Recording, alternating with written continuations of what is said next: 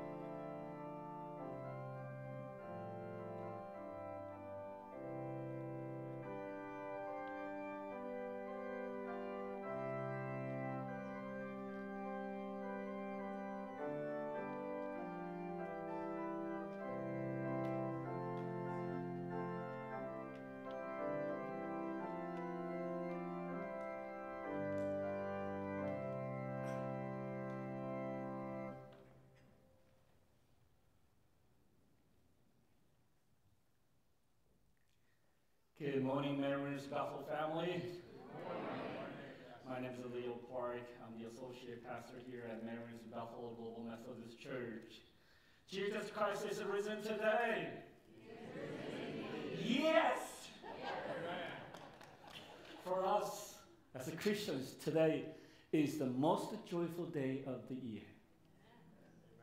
Jesus conquered the death for us, He gave us a victory over sickness, disease, pain, and sin, and He gave us eternal life.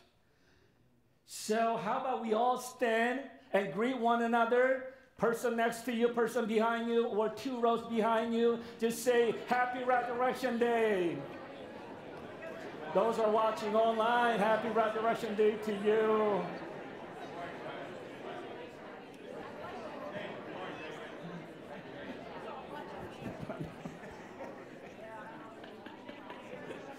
Happy Resurrection Day.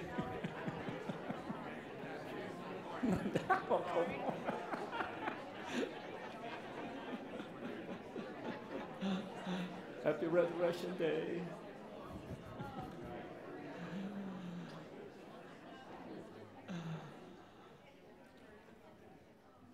Do we have any visitors today? Could you boldly raise your hand? Thank you. Thank you. Wow. Wow. Wow. Thank you. wow, there's over there too. Wow. Thank you so much. We're so glad that you're joining us today. Uh, we want to connect with you. So after service, uh, please stop by at the welcome desk and we have a special gift for you. And those are watching online, if you're new, please scan the QR code on the screen and tell us about you. We want to connect with you. We are a praying church and we are really, really serious about this. So if you have a prayer request today, please fill out the prayer request card in the back of your pew and drop it in the offering plate. And those who are watching online, if you have a prayer request, please scan the QR code on the screen and submit your prayer request. We have a prayer warriors uh, praying for you this week. And if you want someone to pray with you this morning, we have a prayer room open and we have a prayer warriors ready to pray with you. And also at the end of the service, we have an altar rail open for you as well. You are welcome to come and pray, and someone will pray with you. And there are three ways to give your tithes and offering, and more information you can find in the giving information section in your bulletin. And the church offices will be closed tomorrow. And also, there are so many activities and events are happening in the month of April. So please make sure you check your bulletin. And this time I'd like to ask Ms. Janet Freeman to pray for our worship service. Let us go to the Lord. Heavenly Father, you are our healer and our peace. You are our awesome Father. You are all powerful and you are able to do immeasurably more than we ask. Hmm. You make the lame walk, you make the blind see, and you make the dead live again. We give you all glory and praise, O God, our refuge and strength, and ever present help in trouble. Therefore, we will not fear. Father, we know that if we confess our sins, you are faithful and just, and you will forgive us our sins Purify us from all unrighteousness. We know whenever, whoever conceals his transgressions will not prosper, but he who confesses them and forsakes them will obtain mercy. We come to you now, Father, and confess our individual sins and the sins of the church body. We are sorry in closing, in choosing to do what we have sinned against you. But we know our sins are forgiven and washed away by the blood of Jesus. We claim our forgiveness and vow to do no, to sin no more.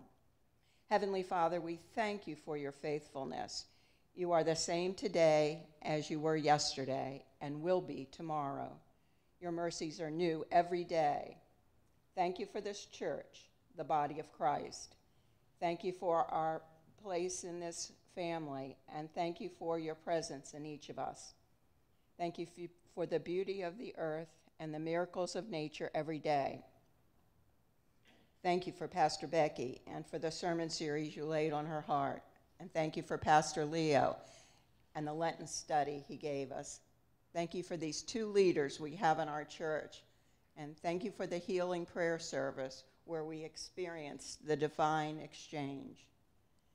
Thank you for your Son who died for us and who is now risen and lives among, among us. Thank you for your grace and mercy.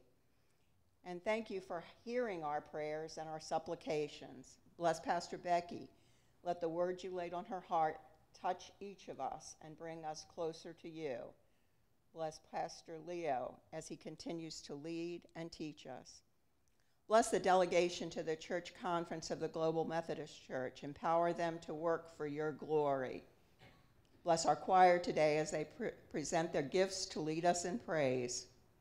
Bring special blessings on Women's Central as they begin their spring study and the Men's Fellowship on their upcoming retreat.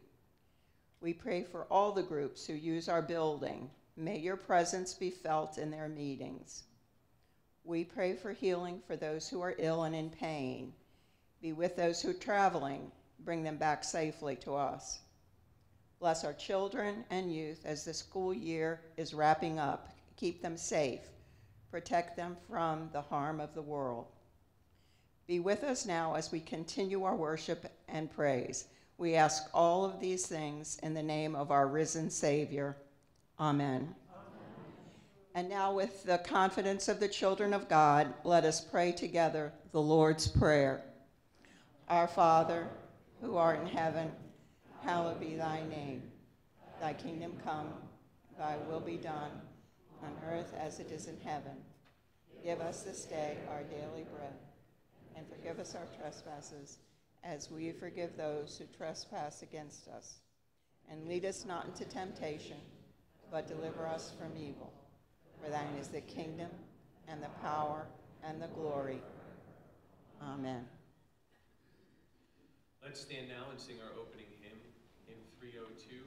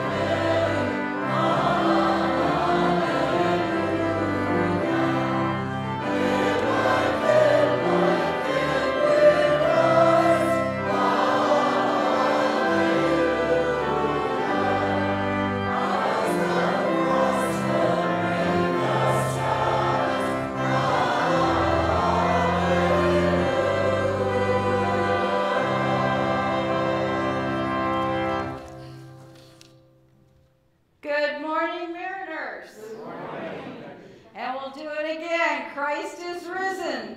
He is risen indeed. Amen. My name is Rebecca Collison, and I'm a sinner saved by the grace of such an amazing and merciful and loving God.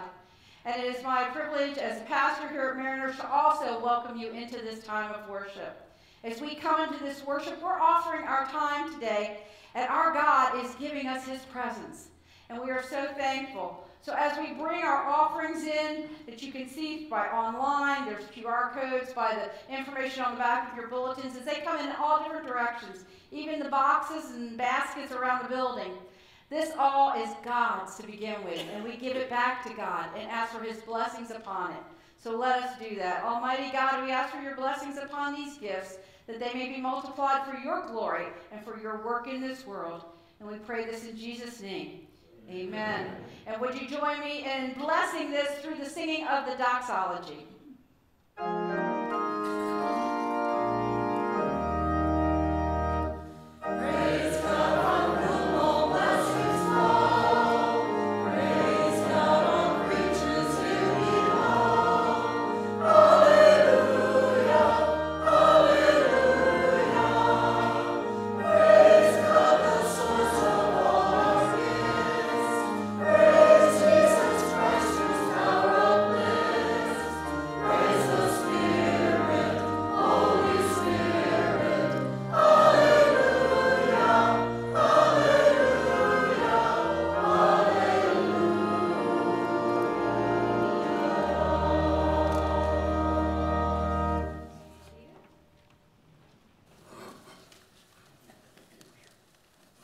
Mary's Infant Day. Is an Easter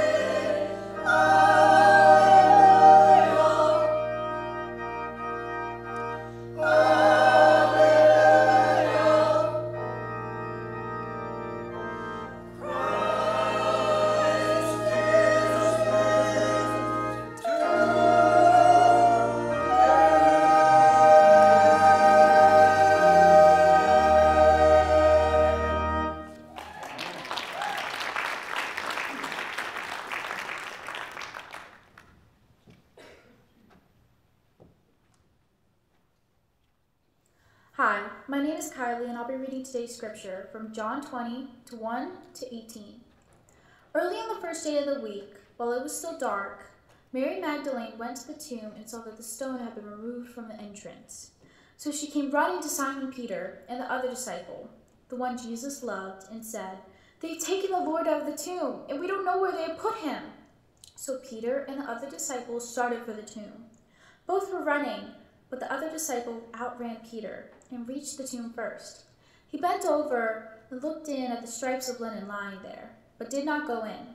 Then Simon Peter came along behind him and went straight into the tomb.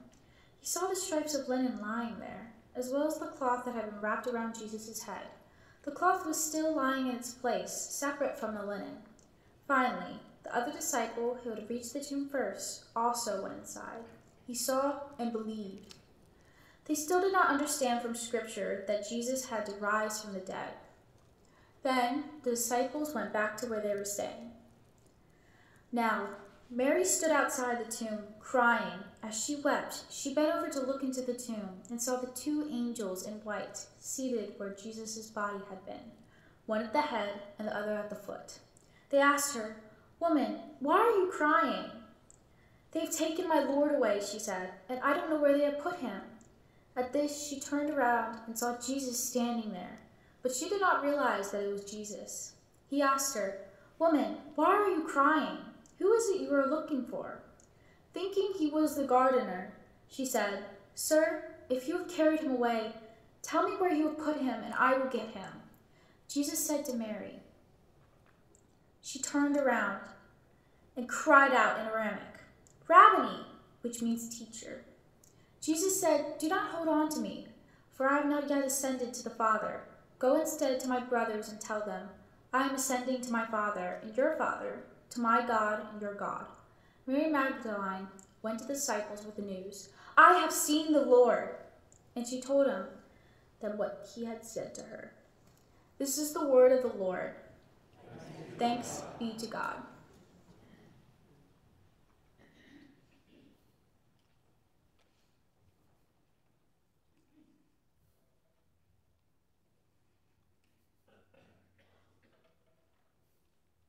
Good morning.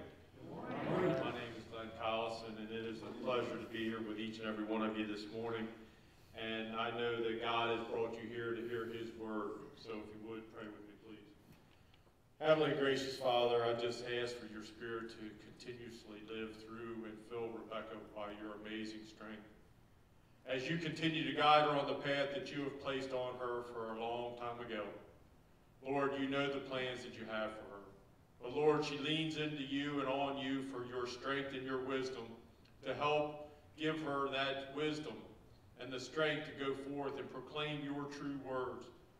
Those words that you have placed on her heart this day, that they will be received by the hearts and the minds of those of your children this day. And may they continue to grow deep within your children, that they will go forth and spread your good news to those around them so that they will know you are King and you have risen. In Jesus' name we pray. Amen.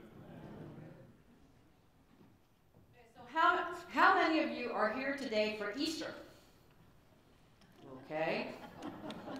How many of you are for Resurrection Sunday? Okay. The rest of you had nothing better to do, right? How many of you are here because somebody woke you up and said, get up, get dressed because you're going to church? Okay, there's a couple hands for being honest. I appreciate that. Well, I read this interesting article by a pastor who uh, his church was kind of divided. Well, do we call it Easter Sunday or do we call it Resurrection Sunday? And he says, well, we're going to call it Easter, and these are the reasons why. First, we're going to, uh, resurrection can sound like a really churchy word. It's not one that usually comes up at the grocery store line. Um, so it can kind of be insider language. But people, when you think Easter, you think of, you know, spring, and people can relate to that. So we call it Easter. Now, some don't like the word Easter because of its roots to an ancient pagan festival, which the word did come from a festival. However, when we look at a broader scope, we also use the word Friday a lot. And that word is based on a Norse goddess named Frigg. F-R-I-G-G.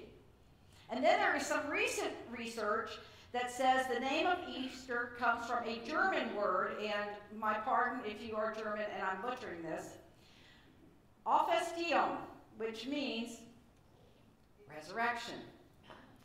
So, regardless of what your reason is for coming, regardless of what you call it, can we all agree that we are here to celebrate life together? Amen? All right.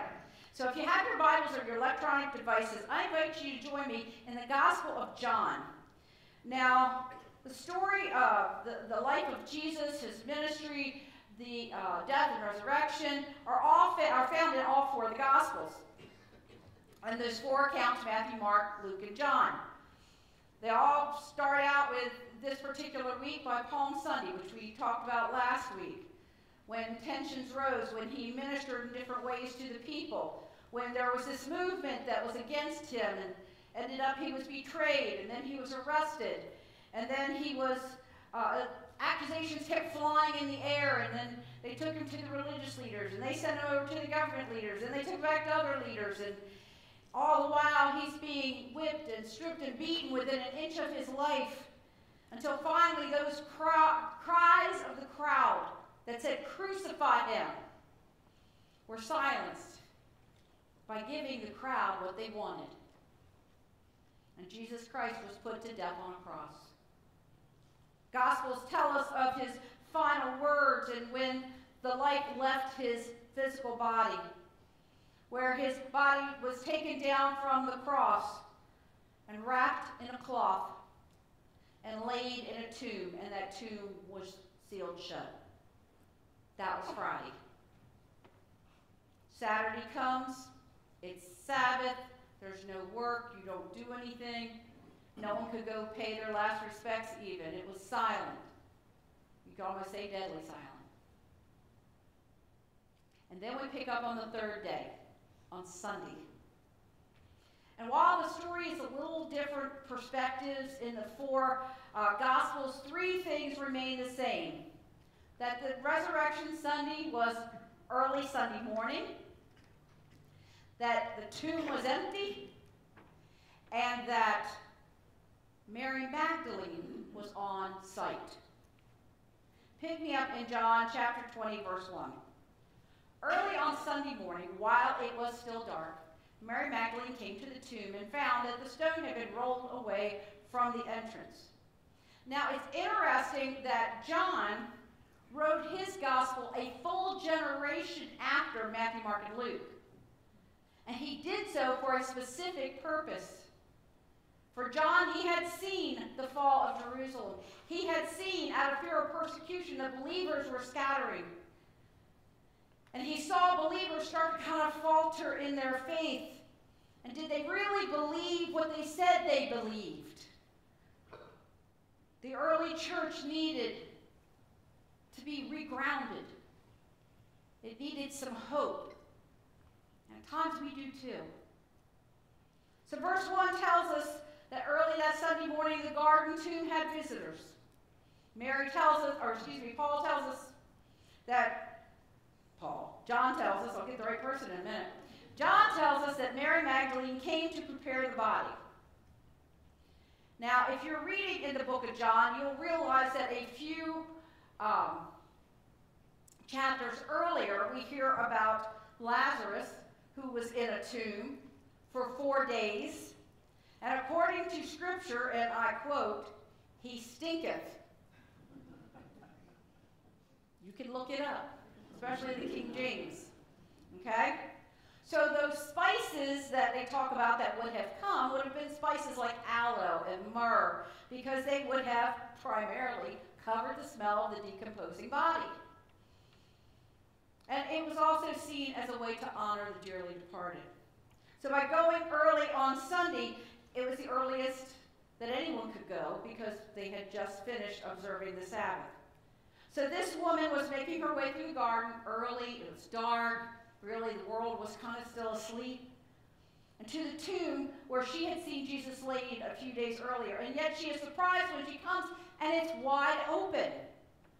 So she does the next logical thing. She calls the disciples to come and see. So two disciples come look in, and there's nobody in there. Literally, there's no body in there. No body in the tomb. Okay, y'all need your second cup of coffee again. All right, just making sure you picked up on that. And they said, yep, it's basically empty. And it's interesting what John says beginning in verse 8. He says, Then the disciple who had reached the tomb first went, first went in, and he saw, and he believed. For until then, they still hadn't understood the scriptures that said Jesus must rise from the dead. I see, not only foretelling the death of and resurrection of the Messiah was found in the pages of the Old Testament, like Psalm 22, or in reference to those three days that Jonah had in the belly of the whale, or even to Isaiah 53, which was written 700 years before. But there was also the Gospel's record of Jesus himself telling the disciples that the Son of Man would be rejected, suffer, die, and in three days rise. Even in John chapter 2, Jesus is talking about destroying and raising up the temple in three days, and the religious leaders are arguing. They're like, no, man, it, it took us like a really long time to get that temple up. Three days isn't going to cut it. And he, they don't realize he's talking about his body as the temple. Maybe hearing that their Lord was going to conquer death in a way like no one had ever seen was just too good to be true, too hard to believe. Either way, both disciples, they came, they saw the empty tomb, and they left. But Mary Magdalene stayed. Pick me up in verse 11. Mary was standing outside the tomb crying, and as she wept, she stooped and she looked in. Now, the other Gospels will tell you that Mary uh, Magdalene was alone, and some will tell you there were others with her, like the other Mary. And that would make sense because girlfriends usually travel in groups. At least they do today, so it would have made sense that they did then. But it's Mary Magdalene who's mentioned by name throughout John's account and the other Gospels. Because Mary Magdalene being mentioned by name is for a specific reason. See, we don't know a great deal about her, but what we do know is that she was a woman who had been possessed by what they said seven demons. You have to understand that word seven may or may not have been literally, but seven denotes complete. So if they say she was uh, being possessed by seven demons, it means that she was a complete mess. Emotionally, psychologically, she, her whole life was one big complete mess. It wasn't just a corner of it. And she was seen as a woman of means because she was able to support herself, but that doesn't mean she was really living.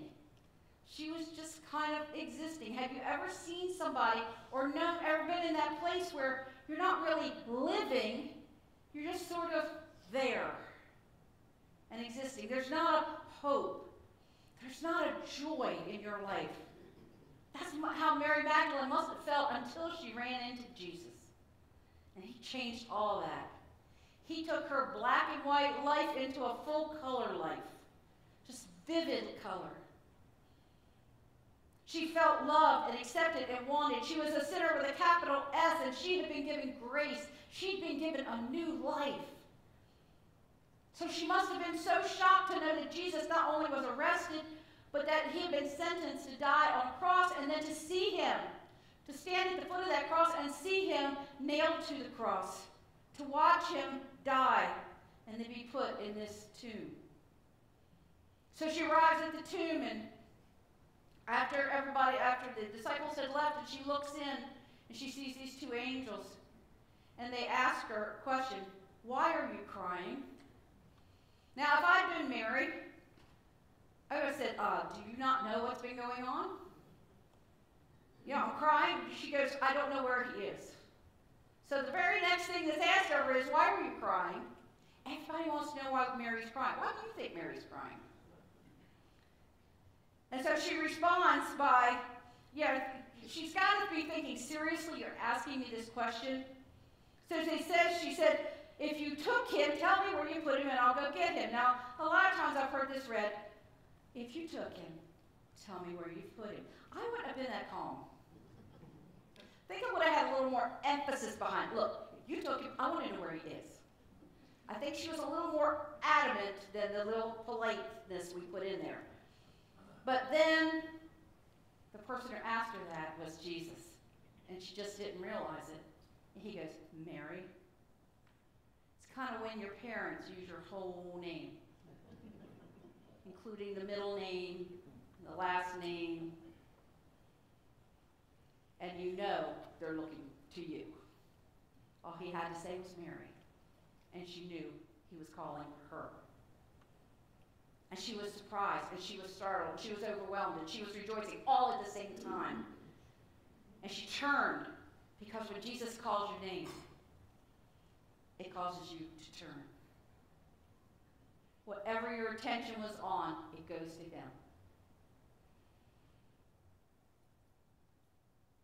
And he's, you know, she just wants to give him a really big hug. And he whoa, whoa, whoa.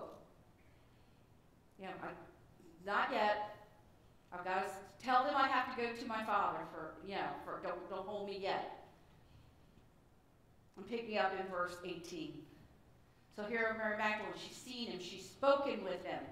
Won't quite let her get that hug in, but that's okay. Mary Magdalene found the disciples and told them, I have seen the Lord, and she gave them his message.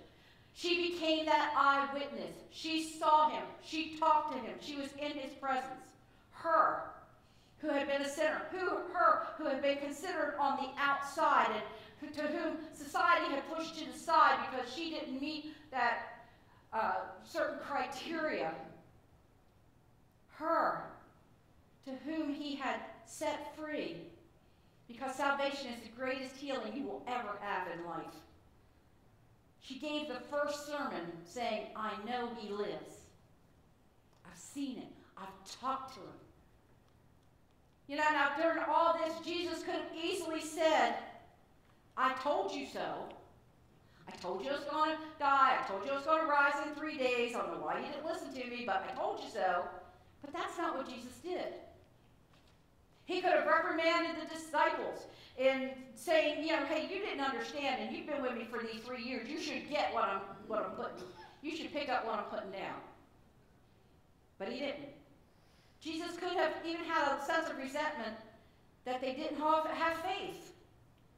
But he didn't, because that's not how Jesus rolled then. It's not how he rolls now. See, because even after Lazarus had died, few chapters earlier, Jesus had arrived too late according to the family. But it's to them that he told the following. He said, I am the resurrection and the life. The one who believes in me will live even though they die. And whoever lives by believing in me will never die. Do you believe this? This, this is a loaded passage. I am the resurrection. Scholar N.T. Wright says Jesus' resurrection is the beginning of God's new project to not snatch people away from earth to heaven, but to fill earth with the life of heaven. After all, that's what the Lord's Prayer is all about. The Lord's Prayer we said in the beginning Thy kingdom come, thy will be done on earth as it is in heaven. That phrase points us to a resurrection power that wasn't just then, but is today. And Jesus didn't just stop there, he says, I am life. You know, in the Greek language, there are actually three words that we translate in English as life. But in English, or in uh, Greek, there are three different words. Bios is one, and that's sort of like where you get biology from. That's your physical body. The other word is pronounced shuka, which is psychological life of the soul and heart and mind. And then there's Zoa. Zoa is a divine life uniquely possessed by God. It's beyond us. It's what God pours into us. And when he said, I am the life, it's not just talking about I am the life, I have a physical body. It's not just uh, Sukkah, which I, I am life in that I have a mind that thinks. It is, I am Zoa. I am beyond this physical part and even more so from the holy God. But here's the thing the other thing I am the resurrection, I am life. Do you believe? Church, do you believe? Do you believe in Jesus Christ as your Lord? Do you believe he died and he rose on that cross, rose again for you, that he accomplished the impossible, going to hell and back for you, to buy our pardon, to pay the ransom for us to be set free? Do you believe that? Because here's the thing each one of us believes something. Because not making a decision about what we believe is a decision in and of itself. And I know I've said this before. We talk about if there's a fence, well, I'm kind of sitting on the fence about all of Jesus. Jesus doesn't live on the fence.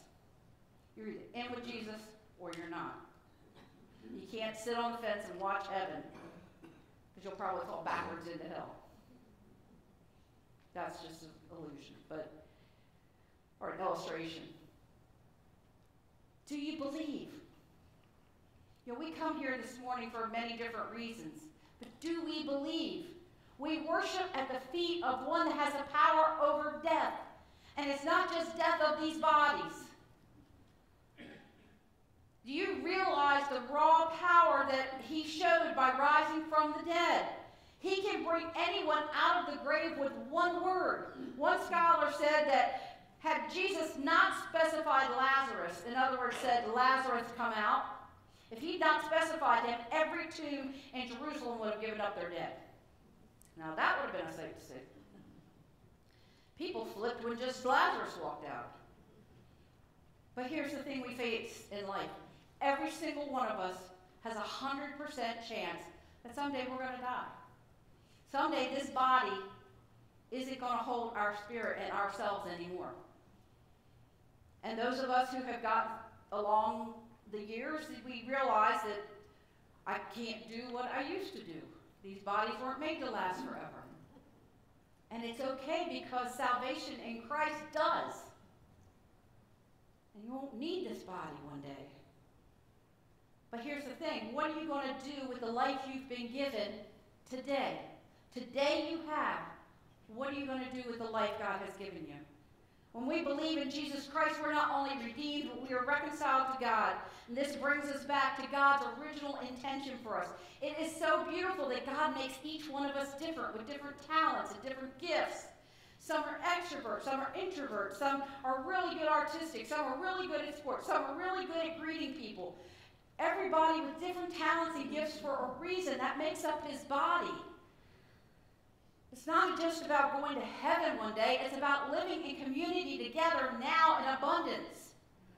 Hopefully, joyfully, no matter the circumstances we face, we don't face them alone. If you feel like you're alone, Jesus is right there. He's not going to make you reach out to him, but he calls you by name. You know, Mariners, we talk about being a praying church. Not because we believe in the words we say, we believe in the words he says. We believe in who he is. That is why we pray. We trust in him, not our abilities. Because everything that's done, every miracle that's taken place here, every healing that's having taken place, every salvation, like I said, that's the greatest miracle there is that a holy God would reach down to sinners like us and say, I love you this much, I will send my son to make a way for you to come to me because you can't do it on your own. And I will be with you in the deep waters, and I will be with you in the storm, and I will be with you in the good times, and I will be with you in the bad times. I'm not leaving you. I will never leave or forsake you. That's my God. That's the one that calls out to you. That's the one that defeated death. See, the resurrection power we believe in all the life and all the situations we face, no matter how challenging, how hopeless, how painful it might be. Resurrection power brings the dead parts of our lives to life. And I don't know about you, but if you've ever cleaned your house and you go in the corners and sometimes you find things that you forgot about, sometimes they've died. or they've been dead for a while.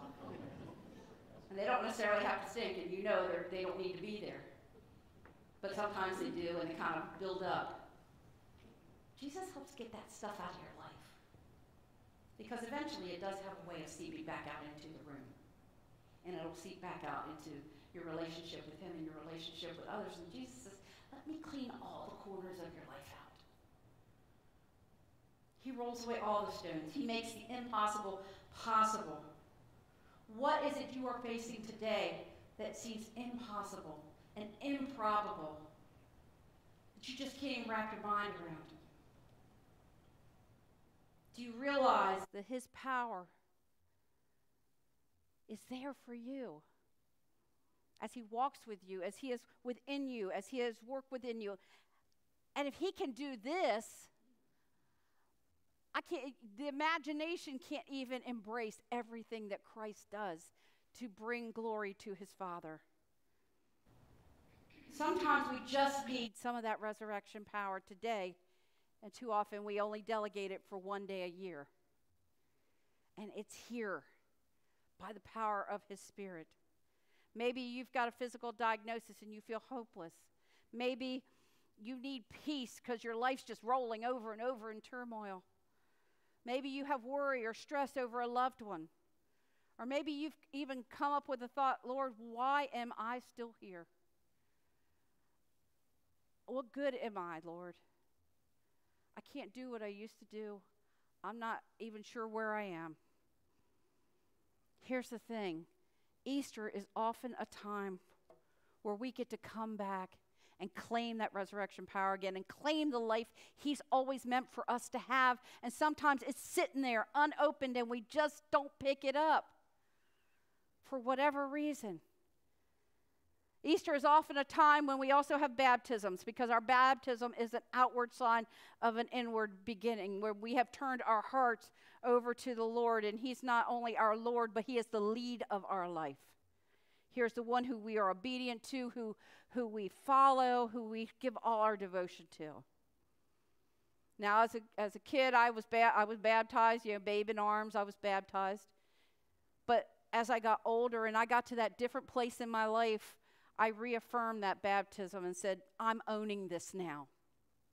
That's what a reaffirmation of baptism. We don't rebaptize, we affirm what God has done and is doing anew in our lives.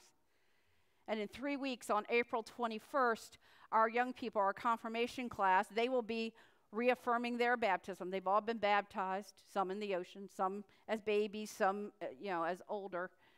And they're going to reaffirm and claim it. God is doing a new thing in my life. And they want to extend that invitation to you. So on the 21st, if you feel like, I don't remember it then, but God is doing a new thing in me, I know He is. And I'm in a new place with Him then we invite you to, to join us in that reaffirmation. Maybe you've never done that. Maybe you've never been baptized. Maybe you say, I believe in Jesus Christ, and I, I want to start on a fresh foot on my relationship with Him. I, I want to get my focus straight. Then you're welcome to come and be baptized as well. We do take that seriously. So we ask at the end of the service if that is something you would like us to do then uh, to check with the prayer folks who are either at the rail or at the prayer room and give them your contact information, and we'll be in contact with you because we want you to know what, what this involves, what, what's involved with all this. Because when you confess Jesus Christ as your Lord and Savior and you are baptized, man, the Holy Spirit just moves on in. And there's no way to explain it. But it's amazing. And God is moving in this place.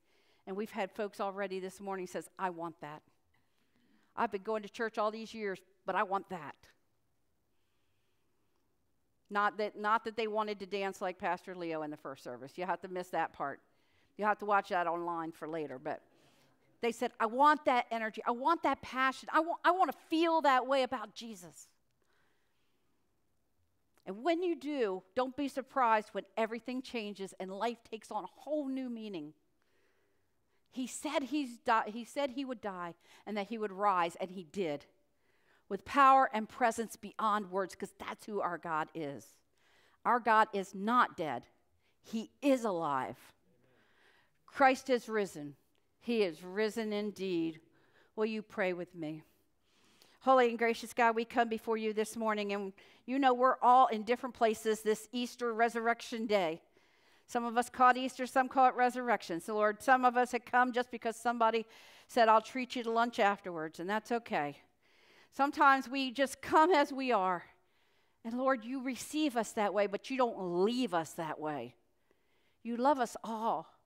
And you want to pour into us your spirit, every single person here because you have created each person here unique.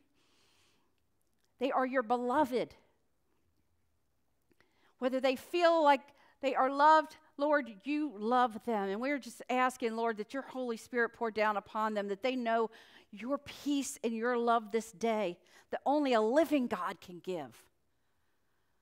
Only a living God can give us true life. But we got to let go of the dead stuff in our lives. And Lord, sometimes we're aware of the dead stuff in the corners and sometimes we're not. Show us that dead stuff we got to get rid of. Help take it out of our hands. Help clean us from the inside out. And trust you with our whole selves. Father God, we praise you this morning.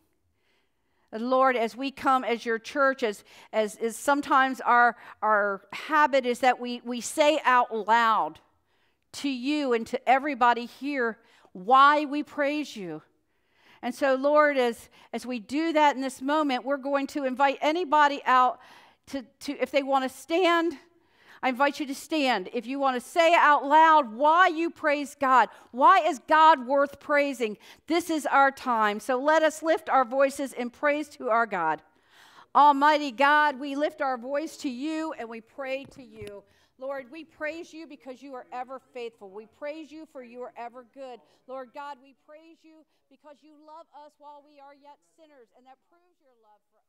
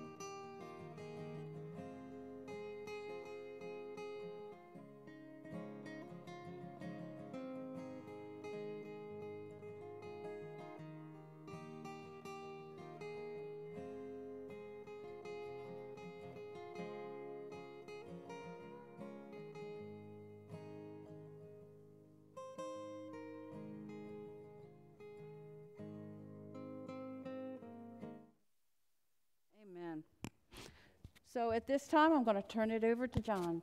Let's stand and respond in our final Let's stand.